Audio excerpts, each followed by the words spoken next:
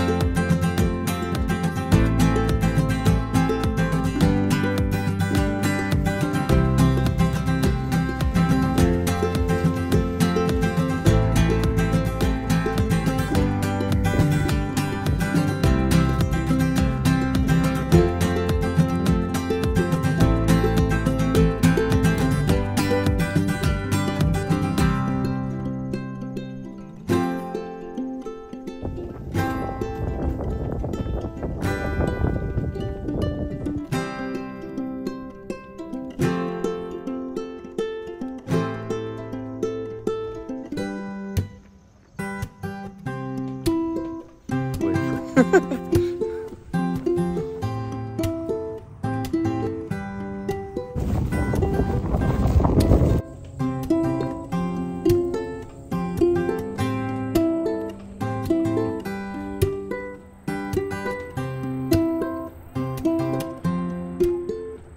take a nice little mosey down this trail.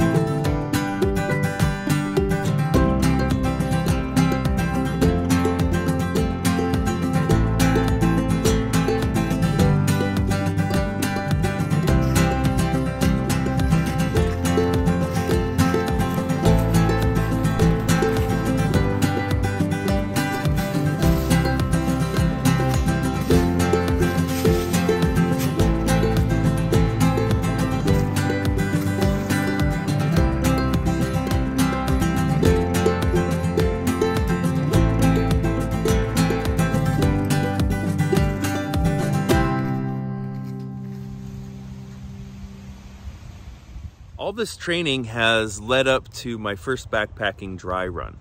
Uh, yesterday I set out on that short trip. It's 8.6 miles to my friend Liz and Ahmad's house. Uh, Liz is my son's mother and they were kind enough to let me camp in their backyard last night. And uh, here's how that went.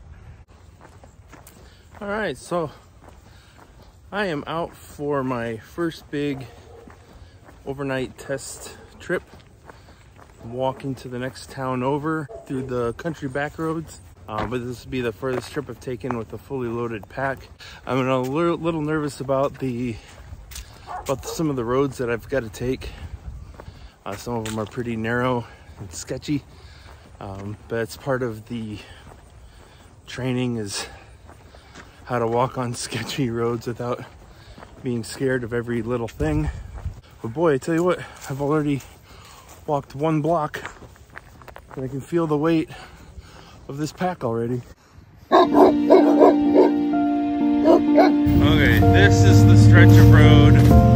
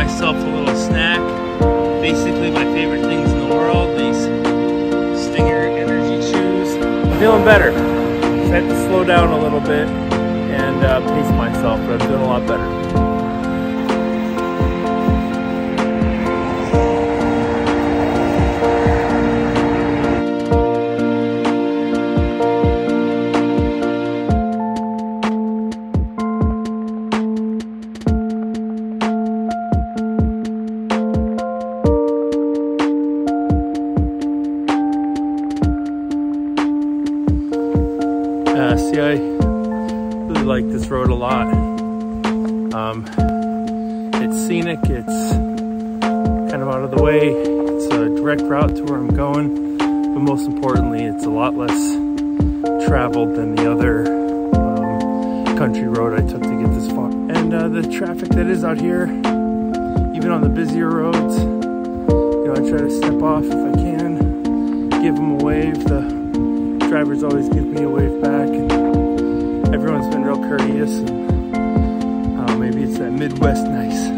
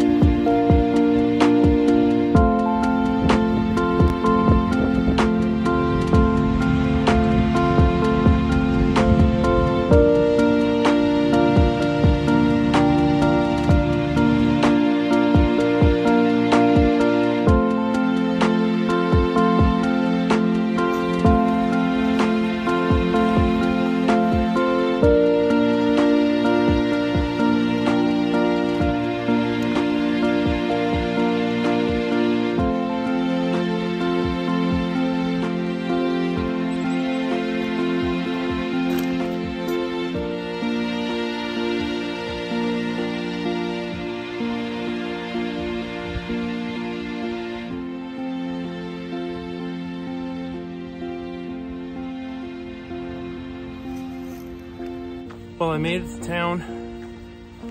I got a nice sidewalk. It's nice to get off the road. I'm only about uh, half a mile from my destination for the night. Kind of just in time for the golden hour. Uh, it's been a pretty good walk. I've adjusted really nicely to the pack and the weight. I'll see you um, setting up the tent. Hey, you guys want to watch me set up my tent? Yeah. Okay, you got to show me where all the dog poop is, though, so I don't So, set my wait, tent up I'll in show you where the dog poop is. The dog poop is like, you see that blue house? Yeah? Like, it's over in like this area. So if I put my tent down there, it'd be okay? Um, yeah, if you put it in this area, it's fine. But I wouldn't like put it in this area because Dad said there's dog poop like over there.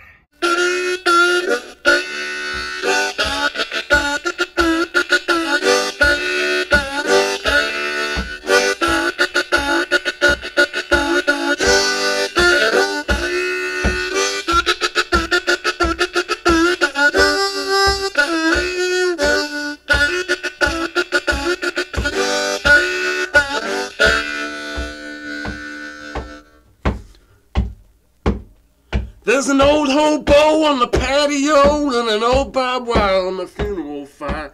Roll out the carpet and it better be red and it better be long as the troubles in my head. So, yeah, the results of that first dry run are a little mixed. Um, as expected, I guess you do the dry runs to work out the kinks. And two pieces of my equipment are going to have to be replaced my tent, for one, and my solar panel, for two. Uh, well, the good news is that everything else worked uh, as it should have. Uh, I stayed warm in my tent. The foam pad, inflatable pillow, and sleeping bag uh, kept me cozy all night. Uh, but most importantly, my body held up. Um, today is the day after that walk you just watched, and I feel fine. Uh, I was a little stiff first thing this morning, but I loosened up doing some dynamic stretches and some static stretches, and now I feel great. Um, I would have walked home this morning, but I had a medical appointment today uh, that I didn't want to risk missing because I was out on a country road somewhere trying to hurry home. Um, so Liz was good enough to uh, drive me home after breakfast. So, all in all, I feel really good about where I go from here. I probably won't update this channel uh, very often with videos until I uh, until shortly before I leave. I will keep my Instagram up to date, and you can find that at uh, walkscapes.eric. And I will also keep my blog up to date, and that's going to be at walkscapes.me. So until next time, walk on.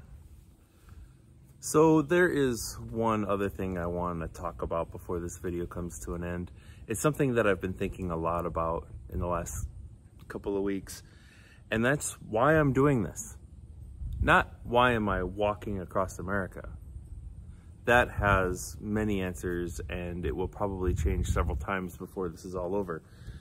No, I mean, why am I making these videos? Why am I on Instagram and YouTube and why do I have a blog now? I got off social media three years ago and thought I was never going to look back. And I guess the answer started when I started telling people about my walk and people expressed an interest. Some people even went so far as to say they wish they could come with me. And how encouraging is that? You know, I don't want to just tell people that I'm doing this and then disappear for eight months. I want to have some way of keeping in touch with people and not only keep in touch with just a simple text message saying I made it to my destination every night, that I'm, hey, I'm safe, everybody, you know. I want to include people on this adventure that I'm on. I want to, I want people to know what it's like to walk across America, to train for a walk across America, get in the headspace a little, be, not because I want that, but because a lot of you guys told me you wanted that. And I, I want to do this for you. I want to do this so that the people who are interested can see what it's like to do it. Not just my friends and family, but anybody who wants to know what it's like to walk across America can watch these videos and, and get an idea. Now, specifically, there's one thing that I hate about making these videos, and that is producing a shot of me walking down the street and then turning around, coming back and collecting the camera. Like this.